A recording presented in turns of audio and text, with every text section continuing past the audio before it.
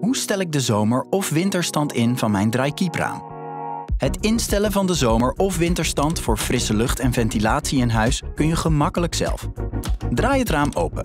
Aan de binnenkant van het kozijn zit een U-vormige pal waarmee je dit kunt doen. Voor het instellen van de zomerstand trek de U-vormige pal naar voren. Houd de zijkanten van de punt met twee vingers vast en trek deze een beetje uit. En draai de pal met de opening naar beneden. Zo staat het kozijn op de grote kiepstand. Voor het instellen van de winterstand, houd dan weer de zijkanten van de punt met twee vingers vast. Trek deze een beetje uit en draai de pal met de opening naar boven. Zo staat het kozijn op de kleine kiepstand. Voor andere vragen of advies zijn wij uiteraard bereikbaar.